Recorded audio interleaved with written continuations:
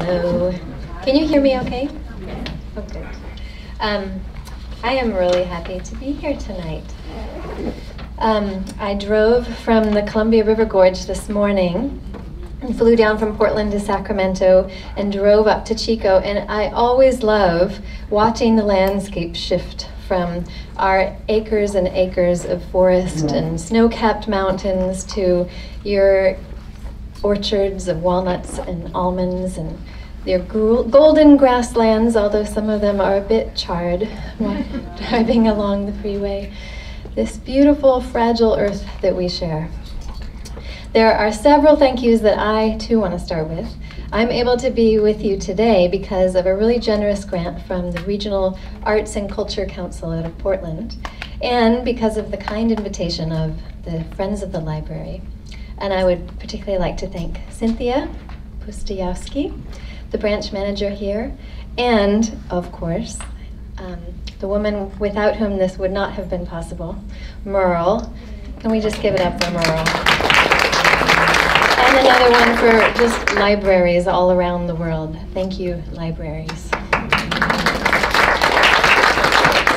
Mom used to take us to the library in Idyllwild, California, and we'd come home in the summer with library just uh, like treasure troves, garbage bag, not garbage bags, grocery bags full of books that we would then read on the porch and each week go back for a new, um, a new treasure. So I am very, very grateful for libraries. Um, and Merle, who we met in Idyllwild, has been behind the scenes absolutely tireless in her promotion of this event. Um, she has done everything from helping to design the posters, to buying cookies, to hosting me in her home, and serving as an unpaid publicist to gather you all here tonight. So thank you, Merle. I met Merle a few years before this picture was taken. So that's my little sister Rose on top. That's me. That's my dad. This is T. Marcel, or as we would later learn, her name was Charlene, and that's my sister Meadow, and that is mom's shadow taking the picture.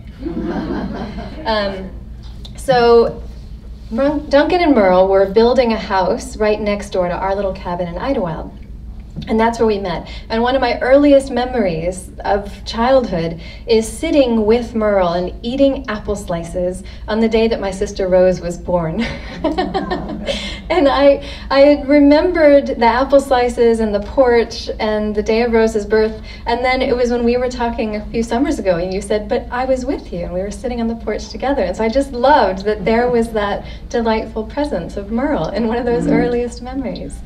Um, so we kept in touch with Duncan and Merle when we went off to Haiti and then when we eventually came back. So when I was 15 and we had left the mission field for the last time, Merle sent me home with a stack of books Jane Austen, Isabella Allende, all these books with sentences that just sang. And she took me seriously as a writer even then, which is a great gift to be taken seriously as a writer when you're still a teenager. So I feel really grateful that I am here getting to celebrate this long, long, long journey. Because if we go back that far. There are some journals in this book that were written when I was 14 and 15, so I think if I've done the right math, that's about 27 years between the starting of and the final completion of this book. So thank you for being there through that.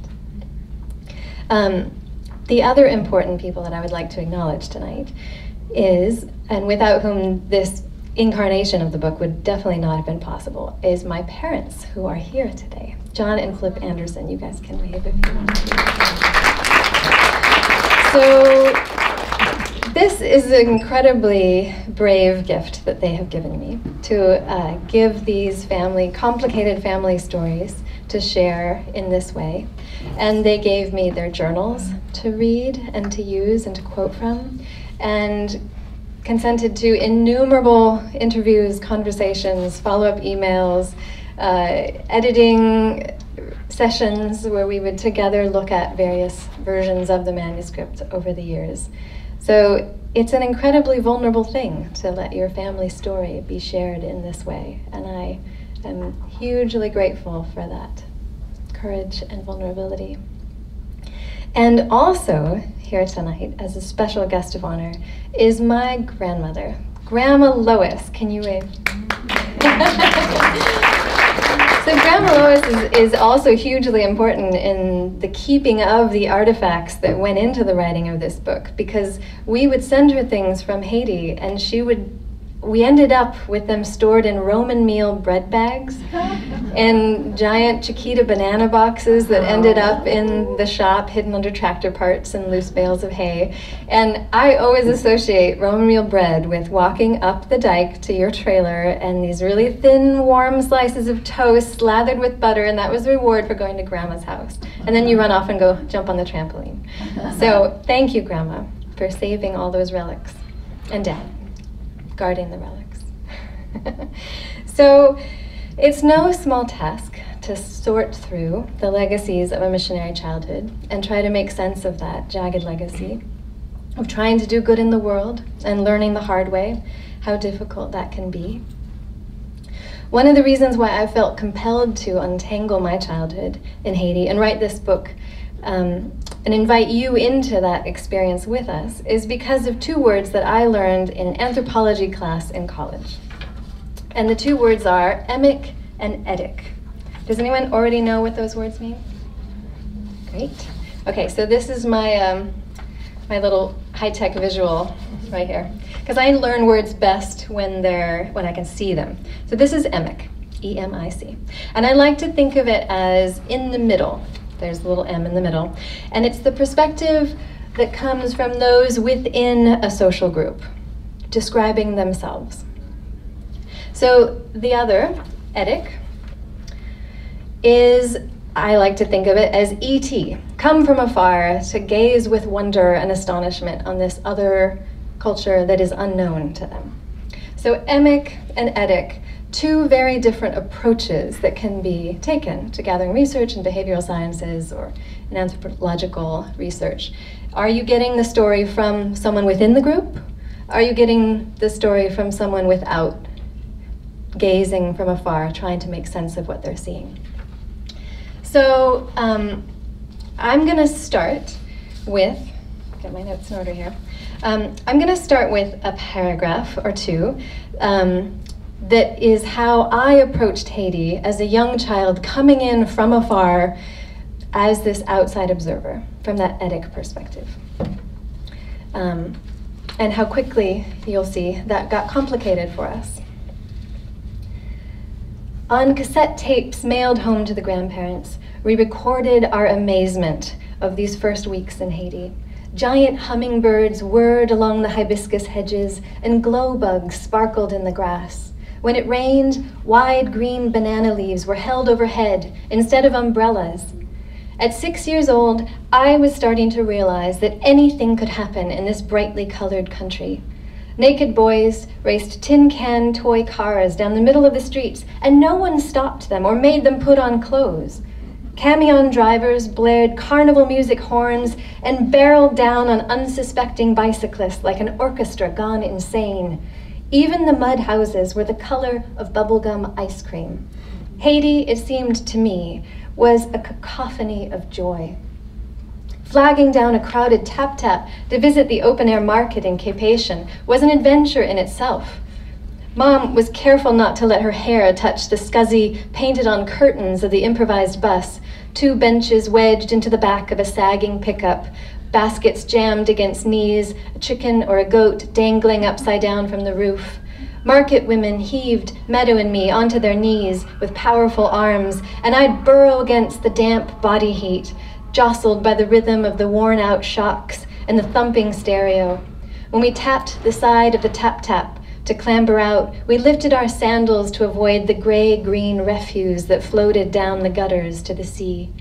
Sweet potatoes, grapefruit, and pineapples were stacked like jewels on squares of plastic. Barefoot children reached for Rosie's blonde curls. Meadow and I got more wary attention. Red hair, we'd been told, meant kwashiorkor, protein deficiency, an emblem of shame in Haiti. The market women insisted that my mother distribute her purchases equally. Ten oranges from one marchand, ten from the next vendor, Marmites of rice were sold just like the gospel parables, a good measure pressed down, shaken together, and running over the sides of a clean scoured coffee can. If I tried to haggle over a scrap of lace or a mango, the market women laughed and egged me on, their hips spread uncomfortably over low chairs, the smoke from their pipes drifting in a loose halo as they translated my butchered Creole into music. Everything in me wanted to holler a resounding yes to this new world and dive headfirst into the quicksilver flourishes of the language. But when I watched the grown ups out of the corner of my eye, the ones who looked like me, the other missionaries. They all seemed to hesitate and hold back. On my mother's 29th birthday, we drove into Cap-Haïtien, but she was disillusioned when she tried to walk along the seafront in the Cap-Haïtien seawall. The reek of the clogged gutters was impossible to ignore, and faded plastic bobbed in the surf. Longing for serenity, she led me down the dirt road in front of the Ag Center on the back of the bony Saint Agricole donkey. Women squatted in front of charcoal fires, and boys called out across a cactus fence. They told us we should give them the donkey, plus the pants that my mother was wearing. I was confused and annoyed. My mother didn't know how to respond. The staggering inequity between their lives and ours demanded an explanation. And yet, poverty was more or less what we had expected to find. Conversations around the missionary dinner table made it seem obvious that Haiti was a country in need of our help. This was, after all, why we had come. As farm stock, we were unaccustomed to being treated like dignitaries. My parents knew how to plant their feet on the earth and work hard. They valued self reliance and stubbornness. They looked up to no one, nor did they expect anyone to look up to them. And yet, there was an undeniable deference shown to us as missionaries. The Haitian pastors who visited the Ag Center from working class families came only as far as the gate, where they waited and did not enter without permission. Was there some unspoken rule we didn't know about? Were they afraid of the dogs? I couldn't imagine anyone being scared of the black Labradors that licked our ears and noses, so much more friendly than the farm dogs under Grandma Lois's porch. But the Haitians tapped and waited until someone emerged from the missionary domain. At first, it felt uncomfortable. Then it began to feel routine. We had become the blancs, the wealthy foreigners, even if, in our own country, all that we owned was an eight foot wide trailer and a cabin with a pit toilet. For even that small hoard, meager though it might be, so far outstripped the earnings of subsistence farmers, fishermen, pastors, and market women that in truth we had been privileged all along, and we hadn't even realized it. To make matters even more complicated, we had servants for the first time in our lives. At the insistence of the outgoing missionaries, my parents paid a cook, Adeline, as well as a woman named Maomer, to wash the evening dishes, and my father supervised a staff of ag technicians and gardeners, but it wasn't the life that my parents had imagined servants of God to lead. Adeline, who spent hours stirring cornmeal mush in an aluminum pot over a charcoal stove, while her three year old son, Nospen, played beside her, never complained. Adeline's husband worked in the US and sent back money, but he didn't have a green card and couldn't legally bring the rest of the family over to join him. It did not escape my mother's attention that while someone else cooked our dinner, her daughters leaned over her arm and narrated whimsical stories to inscribe in graceful calligraphy. Our job was to illustrate these and other fantasies. While Adeline hunched over a plastic tub in the yard to scrub our clothes into a sudsy lather, my mother had time to teach us to sew on a treadle sewing machine set up under the mango tree we pumped furiously, our feet propped against the foot pedals, amazed as the round wheel spun and sang. With our mother's hands to guide it, the needle bobbed and pierced the clean cut fabric, leaving ribbons of thread in its wake. When she stomped her foot down firmly to force the rocking pedal into submission, from under her fingers emerged a dress with a bright ruffled hem. Hearing about a local Baptist women's group that sewed clothes for the poor, my mother herded the three of us girls along to see if we could help. The Dames Dorcas, as they called themselves, were already hard at work when we arrived. Thirty women hovered around two treadle sewing machines. Those with scissors knelt on the dirt courtyard to snip without patterns around the outline of finished dresses. The unpinned fabric was then handed to women at the sewing machines, who turned over the finishing work to assistants on the periphery, needles flashing as, the, as they mended hand me down children's clothes and frayed pants. As soon as we arrived, the fluid movement eddied to a halt. Bustling, officious women swiped the chairs from the ladies at the sewing machine and lifted them over the heads of the others so we could sit down. My mother tried to refuse, but the leaders waved away her protestations. We were their guests. My mother submitted, uncomfortably queen like, and perched on a woven grass chair. Meadow and I were lifted and plunked down beside her. The leaders nodded approval. The old pattern of colonialism, however distasteful, was a well worn rut. Worse yet, our arrival signaled the beginning of a Bible study. A woman with a commanding voice broke into a dramatic opening prayer as lace handkerchiefs were adjusted atop tight braids. I waited until my mother wasn't looking, then slipped down to scrape at a trapped stone with my fingernails. Meadow followed suit, and before the prayer was finished, we were squabbling over who had commandeered whose territory. Rosie went after the chickens. They squawked noisily as she gave chase, fluttering irresistibly towards a steaming chaudier of rice and beans on a bed of hot coals. Motionless Haitian children watched our antics from a small square of fabric, presumably having been warned not to move. As soon as the Bible study ended, my mother whisked us away, stammering apologies. On the slow, sweaty walk home, she felt surprised at her sharp envy of the women in the dirt courtyard. She tried to explain it to the grandparents on the cassette tape.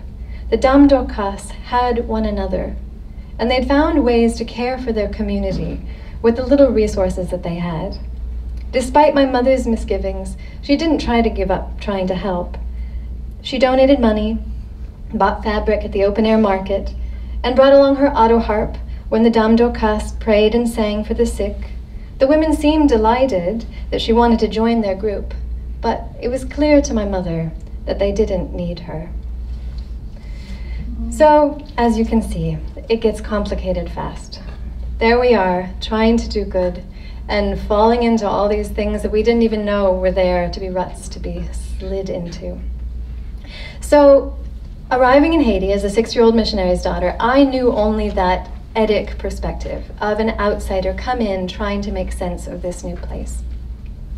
Um, and yet, even with my oversimplified child's version of that, Haiti as this cacophony of joy, um, I felt the discord within me when we then returned home to our own country, the US, and tried to talk about what we had seen and experienced, and that dissonance between what we were learning to see, the complications that we were living, and how Haiti was viewed by yet another step removed, by the people that were supporting us and the stories that they had heard. So, this distinction um, between the emic and the etic doesn't just apply to Haiti. We'll get back to that, and it's very important to distinguish between how people within Haiti view themselves versus how Haiti is perceived by outsiders, but it also applies to the missionary experience. So I had heard two very different outsider interpretations of missionaries growing up. Um, and one was the Sunday school version, where it's very holy and missionaries are so amazing and everything we do is blessed by God. People have our refrigerator pictures, like we are it. And then there's another version, also an outsider perspective, where everything that the missionaries touch, they ruin.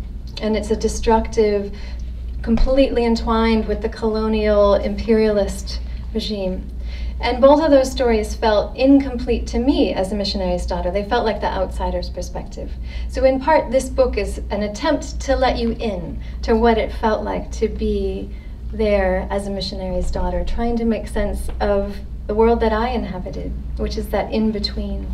So, um, I'm going to read a little bit of that missionary's daughter coming home. Sometimes, all five of us took to the stage like the Von Trapp family to sing hymns in Creole, which the little old ladies loved. But to really wow the church audience, we'd grab the bony ankles of chickens that we'd brought along as props and flip them upside down, wings fluttering, until they stopped squawking and we could proceed into the sanctuary, the carpet tickling our toes, baskets on our head tipping precariously as we turned to face the delighted applause. In church circles, albeit not the wider world, being a missionary was almost as good as being a movie star. My parents wrote endless thank yous for the crumpled $5 and $20 bills that filled the velvet donation bags at the end of each presentation, not to mention the more substantial pledges of $15 a month. But I began to feel like a jackrabbit caught in the glare of the spotlight. I squirmed away from the two soft hands of church ladies who patted our shoulders and assured us that they were praying. Our audience was too gullible, too easily charmed by our showmanship. Our stage act was a parody of the splendid cacophonous world that we had left behind. I couldn't begin to explain all the things that I missed about Haiti. The lizards that puffed green throats against the ceiling, the crack of thunder and the roar of rain on tin, snorkeling in bathtub warm beach water, the buzzing cicadas, tap taps bouncing over potholes with music blaring. But it seemed like the only stories our supporters wanted to hear were about how sad and poor everyone must be in Haiti and how much good we must have done bringing God's light into such a dark place. I gave up. They didn't get it. So, oops, lose my place. Even as, as a seven year old girl coming back from that first year's missionaries, I was bristling against that outsider view of Haiti. Um, as missionaries, I knew that we weren't holy. We were a mess. We shouted at each other sometimes, and we were selfish sometimes and generous at other moments. And we were trying in our limited but stubborn way to help, and it didn't always go well. I'm going to skip ahead now there are plenty of examples here of, of projects gone awry. Um, but I'm going to skip ahead to a passage from the last year that we lived in Haiti when I was 15. Because by the time I was a teenager in Limbe, I was an admittedly resentful teenage missionary's daughter. And I was no longer even remotely interested in performing Creole hymns when we visited the homes of Haitian farmers, or standing on stage with my sisters at a church fundraising slideshow. I was tired of the spotlight. I was disgusted by the pedestal that we were placed on as missionaries. Unbeknownst to me at that time, at the same time that I was pushing back against these expectations, people in Haiti, others, not everyone, but there was many that were growing tired of the way that we, as foreigners, were seeming to always inhabit the spotlight. At the time of the earthquake in Haiti, which is jumping ahead a bit in time, there were 10,000 aid organizations registered in Haiti. 10,000. Raising money for schools, hospitals, churches, reforestation, and water projects, each with their own unique vision of how to improve Haiti and each fundraising newsletter telling more or less the same story. Here are Haiti's problems, here is how we are helping. Our good intentions were not, as we assumed, always universally appreciated. And that became very visible in the 1990s. The Duvalier dictatorship had ended. There had been a series of military coups. There was a lot of political upheaval. And then finally, there was a democratic election cycle. And Jean Bertrand Aristide was the clear frontrunner. And it suddenly became apparent to us that our benevolence, as we had seen it, was also viewed from another angle as oppression. So the homes that we lived in, the vehicles that we drove, our salaries were all paid for by the stories we told about Haiti's poverty. And there were people that were tired of that story being endlessly repeated. So The structures that we had set up did not often allow for Haitian entrepreneurs and leaders to rise to the levels of their giftedness. On the missionary hospital, almost every position of authority was held by foreigners. And that old deference that we had been given was starting to erode in certain circles. So um, it became painfully apparent, at, and it peaked at a moment when we were told that the missionary hospital was going to be burned to the ground.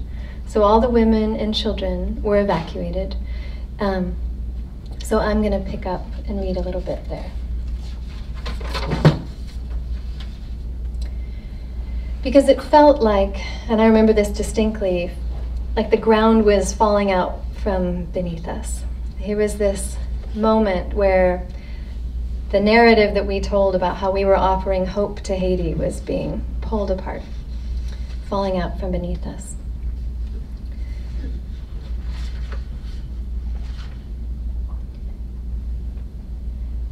The other kids were already milling around the front porch of the Hodges house as we hugged our bags and waited for further instructions. The rumors were growing. Somebody had seen the body of a headless man being carried through the streets. The phone lines had been cut in the Baptist headquarters in Cap-Haïtien. Pastor Tomas had received death threats if he showed up to preach at the Limbe Baptist Church on Sunday. Steve and Nancy James stood next to each other, their calm interrupted by an unspoken question Will you still be here tomorrow? Asia and Andrew clung to their father, four arms circling his waist, not wanting to let him go. The high school boys had no intention of missing the fight if there was to be one. Ryan's jaw was set. His adopted sister, Angelina, beat her fists and howled, furious that her mother and brother were not coming with her. Susan had also refused to leave the hospital, although she too was sending her children away.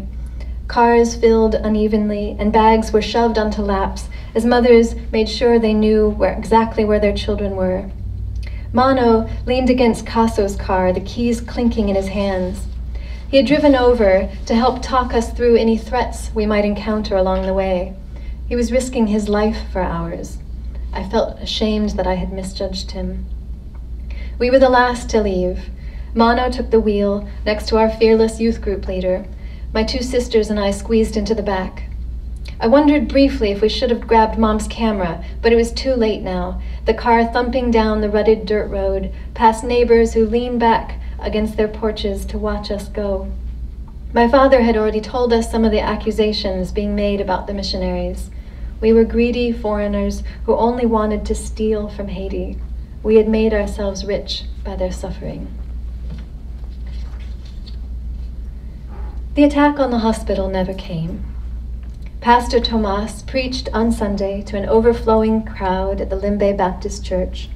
The threats evaporated with as little warning as they had arrived. Perhaps the prayers had worked their magic. Or, as my father wanted to believe, the silent majority in Limbe had decided that enough was enough.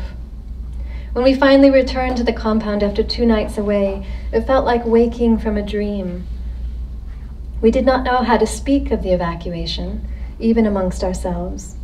We had been baptized into the same fear as our neighbors, the ones who had no option to leave, and there was something in those murky depths that we were eager to forget. Whatever fear or grief we felt, we buried deep. I berated myself for having ever been so foolish as to think we were really in danger. Despite our assumptions, it seemed increasingly clear that the story did not really revolve around us. We had leaped so quickly into that old tired role, the beleaguered whites surrounded by a rioting black mob. But we had misread the cues our need to see ourselves as benefactors, without whom the Haitians, impoverished and hopeless, were doomed to live in darkness, was outdated at best. Why would Haitian visionaries entrepreneurs settle for menial entry level jobs in a missionary hierarchy that would never let them rise to the level of their giftedness? We too were responsible for this unraveling. Always it was the same we placed ourselves like heroes at the center of the story, as if it was our destiny to save Haiti. what we couldn't seem to understand was that Haiti needed our respect, not another failed rescue mission.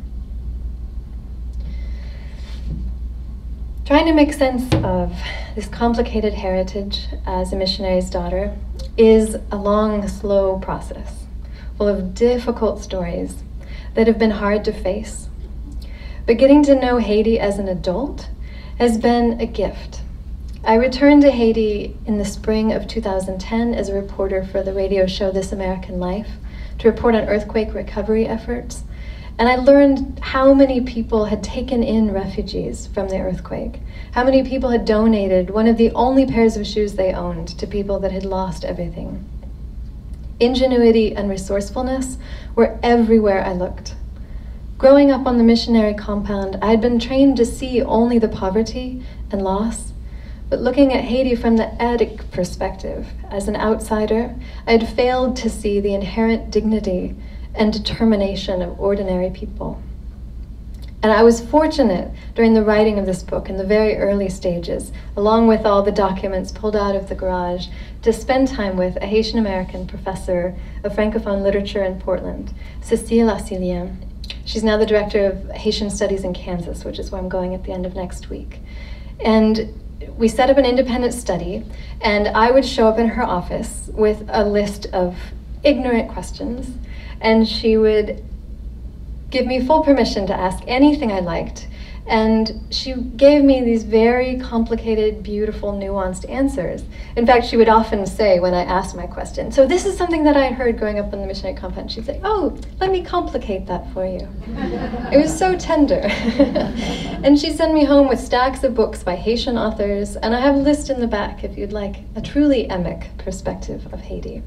Um, and I feel like what she offered me was a way of keeping my heart open to hear the hard and make it complicated. Um, there's a beautiful TED talk by a Nigerian novelist, Chimamanda Ngozi Adichie. It's called The Danger of a Single Story. And maybe you've already seen it. It's wonderful. If you haven't, I do recommend it. She talks in it about how misleading it is to assume that a single story can represent the whole truth. And so, to fully understand or get as close to an understanding as we can, we need many stories. Um, oversimplified narratives reinforce stereotypes and reduce our ability to see the world in all its complexity. They don't help us keep our hearts open. So, when I took my kids with me to visit Haiti for the first time uh, a couple years ago, they were eight and 10 years old, and I wanted them to be of an age where they didn't need language to make friends. And sure enough, they didn't. But we also talked before we went about how we didn't want to approach Haiti.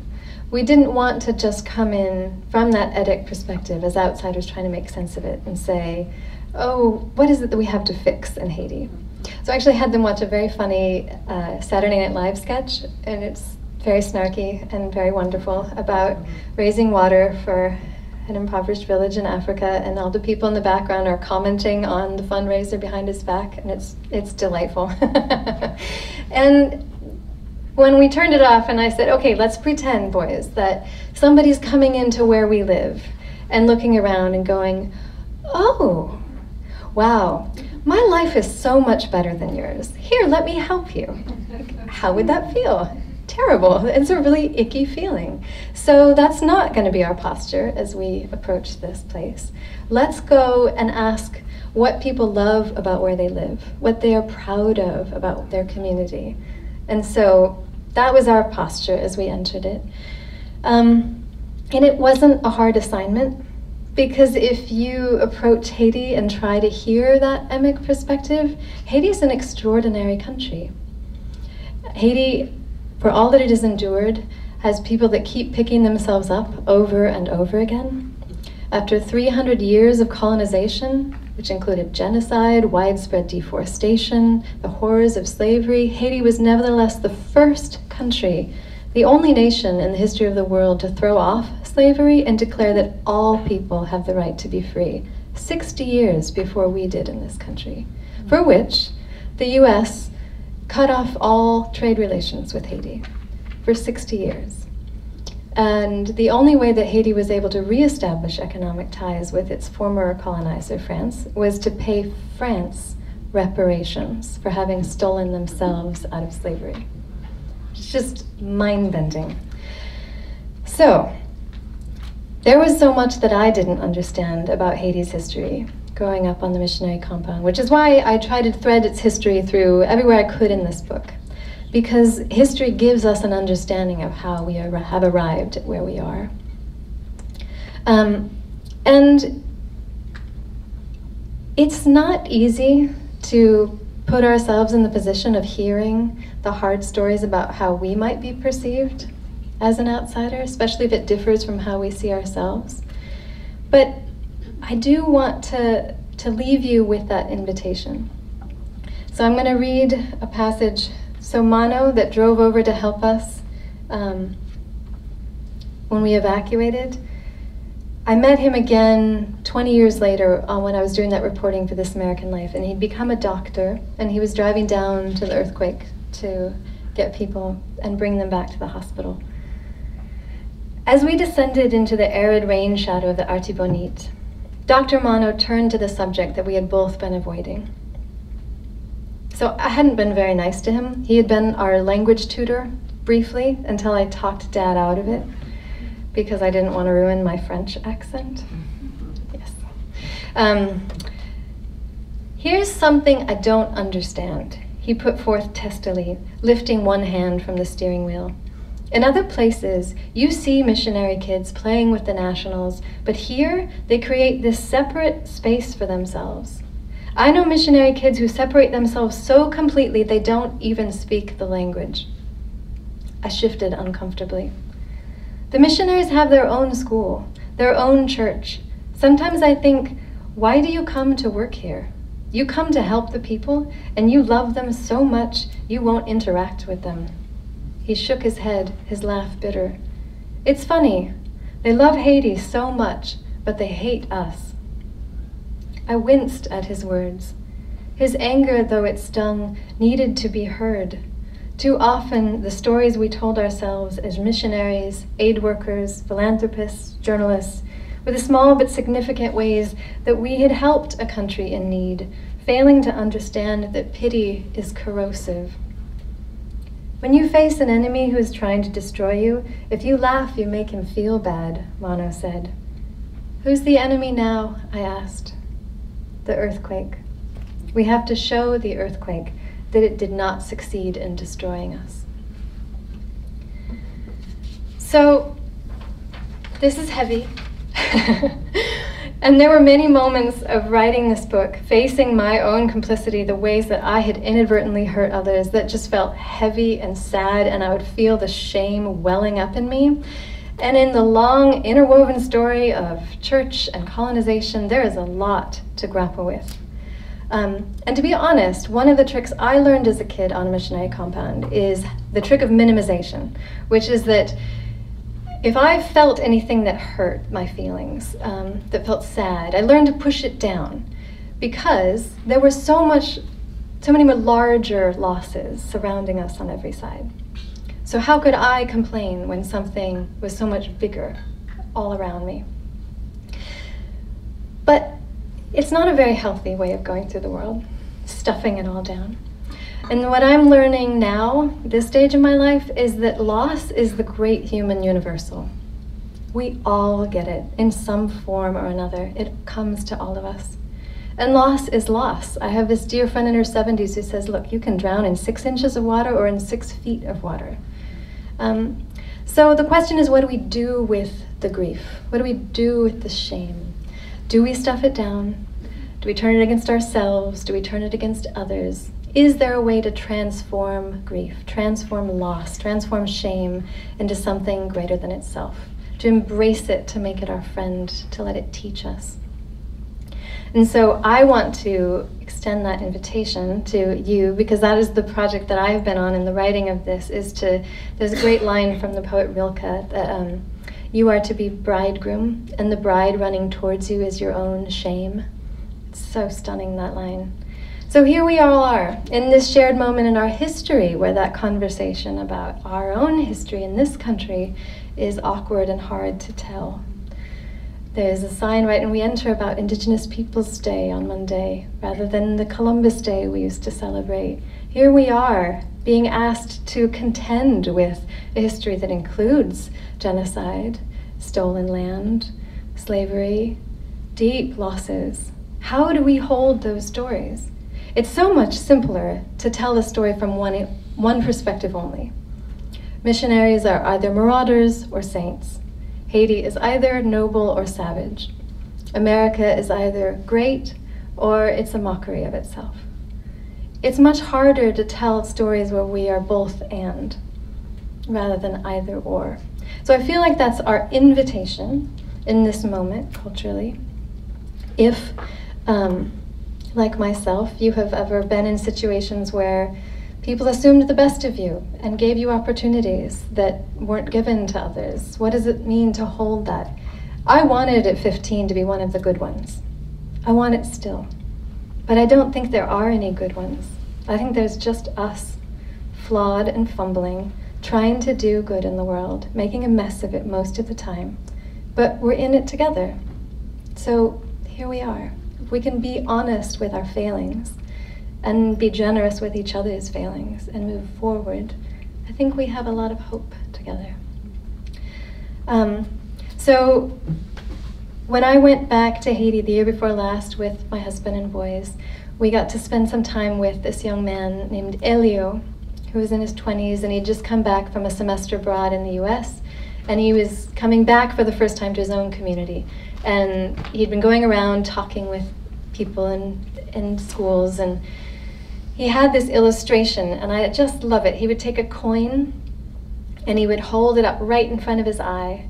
And he'd say, These are the problems of Haiti. And if you hold them right here, you can't see anything but the problems. But if you hold it out here, you can see the problem still, it's still there. But you can also see all the connections, all the possibilities around it. And so it was it was lovely to hike with him up to this hill in the dusk and kids flying kites and the sunset streaming in under clouds and illuminating the mangoes and the rice paddies. And when we walked down in the dark, most people that we passed knew Elio by name. Everybody called out and said good evening to us. And it was just that feeling of here's we are surrounded by a community. There are many connections, and that is a richness, that is a wealth that we have a lot to learn from. So, I'm going to close with one last passage and then open up for any questions you might have.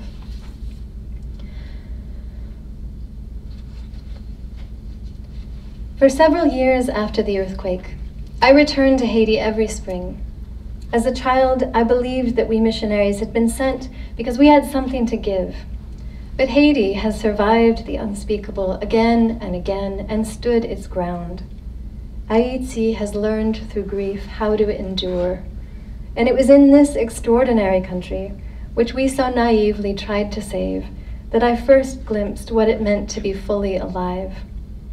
If you have come to help me, writes Indigenous Australian artist and activist Lilla Watson, then you are wasting your time.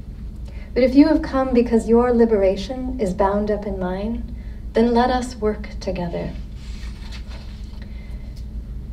In Haiti, after five centuries of plunder, little remains of the rainforest that Columbus once described as immeasurably lush and green. And yet, even if the meager biodiversity that remains represents only a shadow of the Earth's former glory, it is still worth protecting. We are more aware than we used to be of our fragility. We too are learning the hard way about drought, fire, floods, earthquakes, hurricanes.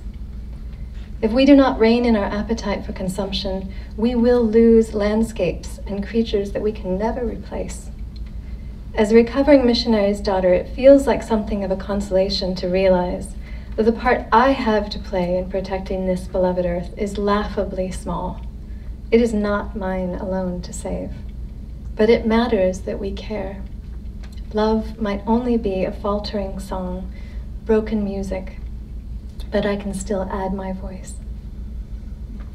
I repeated a benediction under my breath. Let it be enough.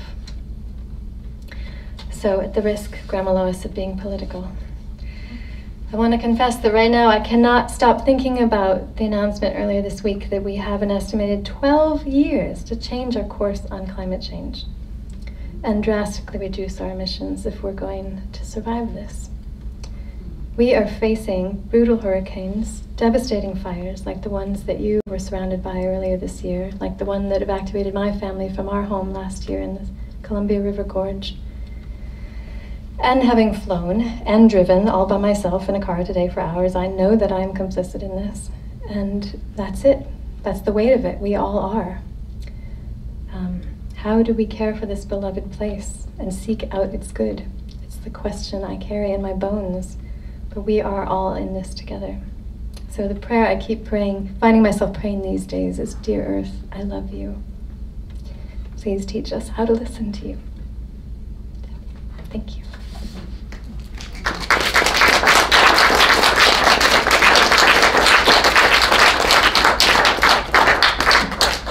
Do you have any questions you would like to ask?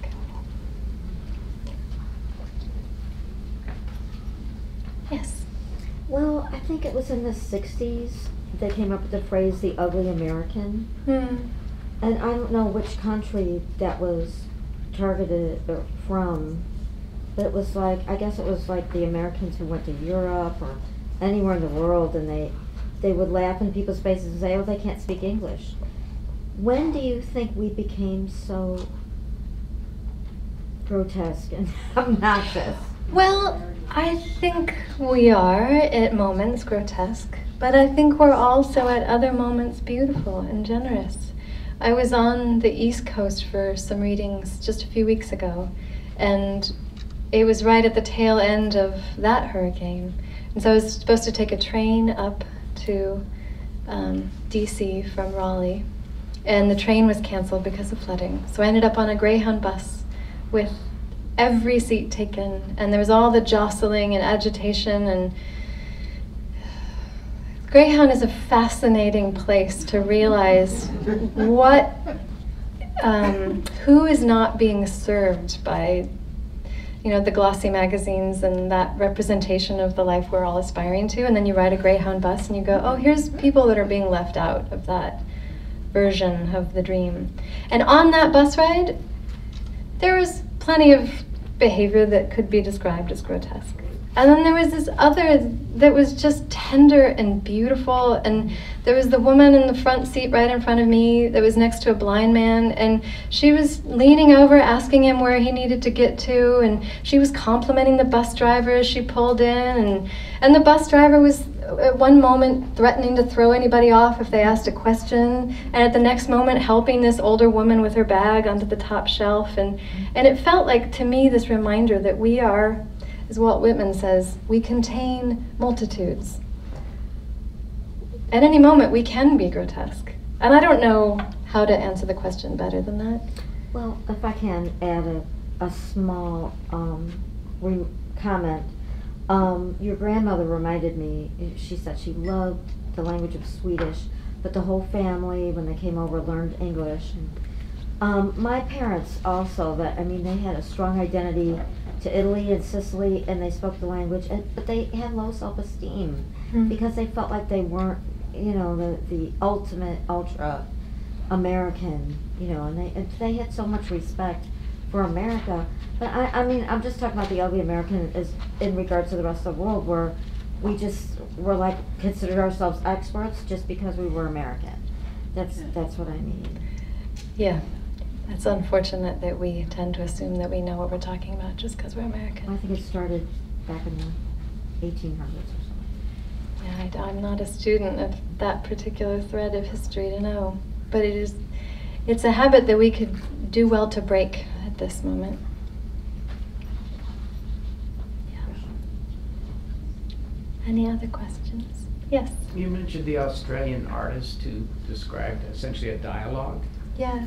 And appreciating your differentiation between emic and etic. Mm. So, from the perspective of looking at the Haitians, you're etic. But yes. certainly you constitute a group right. of missionaries. Mm-hmm. And someone looking at you outside of that is etic. And you're asking this professor in Portland And she's telling you, tell me what you thought, and I'll tell you what really happened. So you're getting her perspective. Was there a dialogue? Did she say to you, well, this is how I see missionaries. Tell me what your experience is in that perspective. Absolutely, and and I'm going out to Kansas next week at her invitation because, as a Haitian woman, she has many reasons to have a deep distrust of missionaries, and her invitation to come and, and speak is because this book helped her to understand missionaries in a different way and see the complexity of that experience.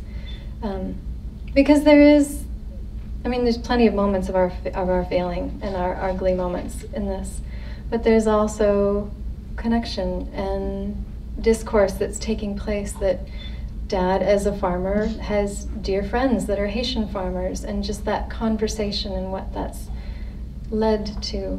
Um, there is there is much that is good in that, for all that is can be harmful.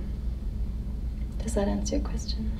Well, I guess to put it simply, do you do you feel someone from outside your world can see and understand your perspective?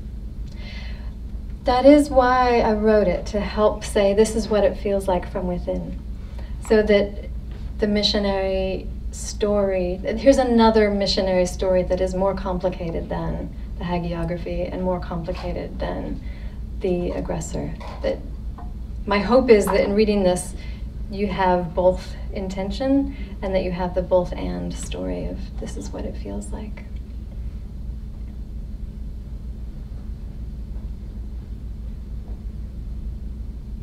Anyone else?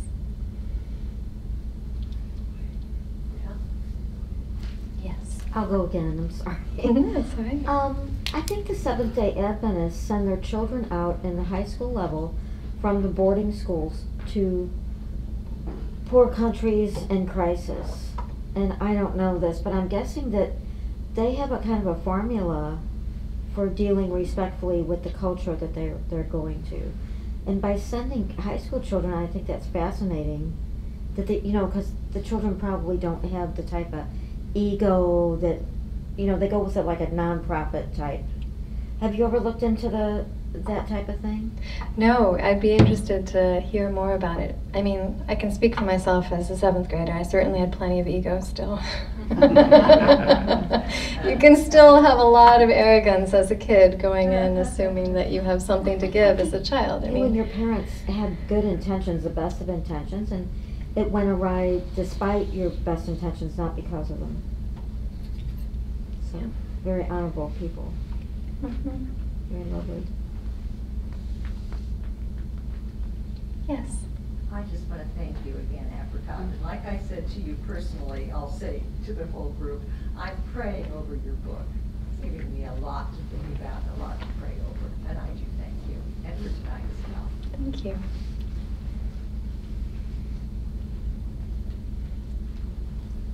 Yes. In short, can you explain the role of a missionary? Well, I think that the missionaries that I am describing are a subset of missionaries, where the primary work was not evangelism, not converting anyone to a religion, but it was there to do agriculture, it was there to work in hospitals, it was to do these very pragmatic support roles alongside of the Haitian Baptist Church. So I know that there are other missionaries that the focus is less on that pragmatic work and on conversion, and I can't speak to that because that wasn't the world that I experienced growing up. Um, I know that in our newsletters, it was often phrased as offering hope to Haiti. And my editor at one point asked, How do you quantify if you've achieved that? Thought, that is an excellent question because it feels like there is this sending out to go and accomplish something that's very amorphous. So, how do you know if you are doing it or not?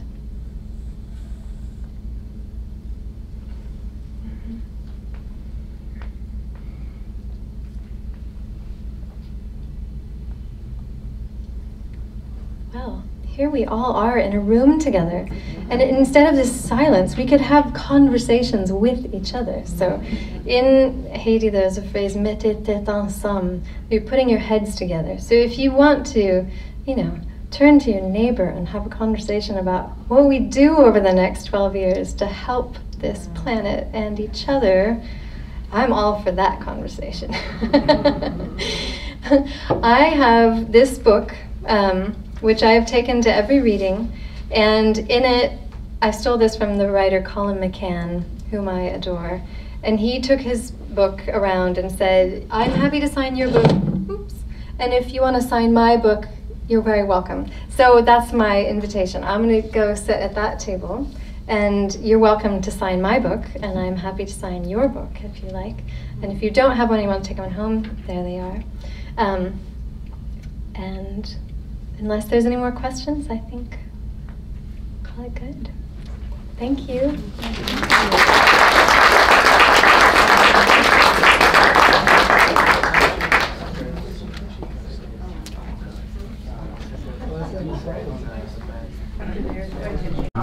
Yes.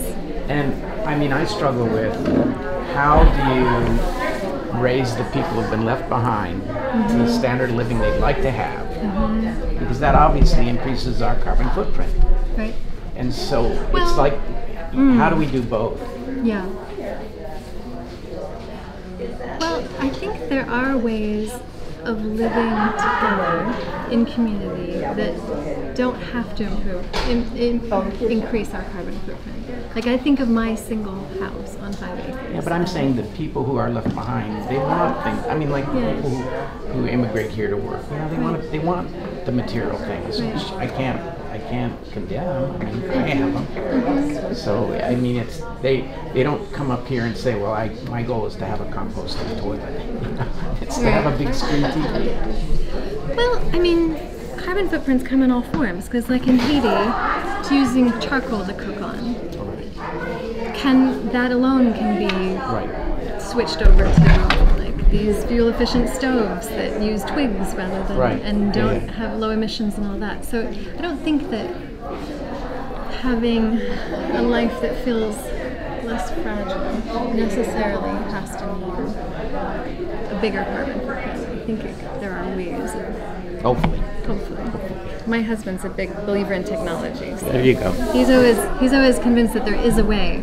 Well, at least it'll mitigate it. Uh-huh. Thank you. Try to keep some optimists around. Thank you for coming. We're so excited about this. There's a group of us that go to Haiti every year. Oh. So we have a real love for Haiti. So when we heard about this book, we all got on board. And we really appreciate having you. Oh, thanks for coming. Good friend. She adopted her children like 30 plus years ago. So that's how our Yeah. relationship started. So Wow. Anyway, so thank you. Carla adopted her girls. Maybe she'll have a few words to tell you about it. Oh, good. It's just a personal thing that we love. That Gladys, who is Haitian, that we go to, she goes, um, it's like getting malaria. Once you once you get it in your bloodstream, you can't get rid of it. so, so thank you so much for being here in Chico. What a treat. Mm.